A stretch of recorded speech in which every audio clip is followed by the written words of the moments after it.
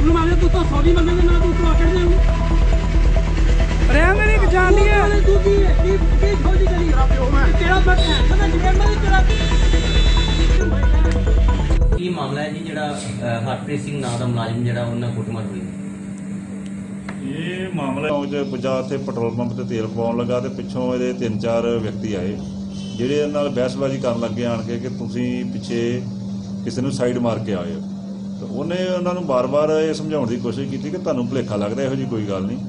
ਤੇ ਬਹਿਸਬਾਜ਼ੀ ਤੋਂ ਬਾਅਦ ਉਹਨਾਂ ਨੇ ਮੁੜ ਕੇ ਇਹਨਾਂ ਕੁੱਟਮਾਰ ਸ਼ੁਰੂ ਕਰ ਦਿੱਤੀ ਕਾਂਸਟੇਬਲ ਨਾਲ। ਤੇ ਜਿਹਦੇ ਦੌਰਾਨ ਕਾਂਸਟੇਬਲ ਦੀ ਜਿਹੜੀ ਯੂਨੀਫਾਰਮ ਹੀ ਪਾਟ ਗਈ ਤੇ ਉਹਦੀ ਪੱਗ ਵੀ ਲੈ ਗਈ। ਤੇ ਉਹਦਾ ਫਿਰ ਉਹਨੂੰ ਇੰਜਰੀਜ਼ ਵੀ ਆਈਆਂ। ਉਹਦਾ ਮੈਡੀਕਲ ਐਗਜ਼ਾਮੀਨੇਸ਼ਨ ਅਸੀਂ ਕਰਵਾਇਆ ਕਾਂਸਟੇਬਲ ਦਾ। ਤੇ ਫਿਰ ਇਹ ਜਿਹੜੇ ਦੋਸ਼ੀ ਸੀ ਅਨਨੋਨ ਆ, ਇਹਨਾਂ ਦੇ ਖਿਲਾਫ ਅਸੀਂ ਮੁਕੱਦਮਾ ਦਰਜ ਕੀਤਾ। ਮੁਕੱਦਮਾ ਦਰਜ ਕਰਕੇ ਇਹਨਾਂ ਦੀ ਜਿਹੜੀ ਆ ਤਲਾਸ਼ ਕਰ ਰਹੇ ਹਾਂ ਹੁਣ। ਇੱਕ ਹਫ਼ਤੇ ਵਿੱਚ ਪੁਲਿਸ ਨੂੰ ਦੋ ਵਾਰੀ ਅਜਿਹੇ ਮਾਮਲੇ ਦਾ ਸਾਹਮਣਾ ਕਰਨਾ ਪੈ ਰਿਹਾ ਪਹਿਲੇ ਪਿੱਛੇ ਜੀ ਐਸਆਈ ਬਲਦੇਵ ਸਿੰਘ ਦਾ ਕੁੱਟਮਾਰ ਹੋ ਗਈ।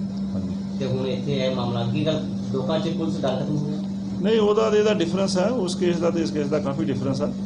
ਪਰ ਇਹਦੇ ਵਿੱਚ ਜਿੱਦਾਂ ਰੋਡੇ ਦਾ ਮਾਮਲਾ ਲੈ ਲਓ ਉਹਨਾਂ ਨੂੰ ਭੁਲੇਖਾ ਲੱਗ ਗਿਆ ਜਾਂ ਉਹਨਾਂ ਨੇ ਵਹਿਸਬਾਜ਼ੀ ਕੀਤੀ ਇਹਦੇ ਨਾਲ ਤੇ ਕੋਈ ਨਹੀਂ ਆਪਾਂ ਟ੍ਰੇਸ ਕਰ ਰਹੇ ਹਾਂ।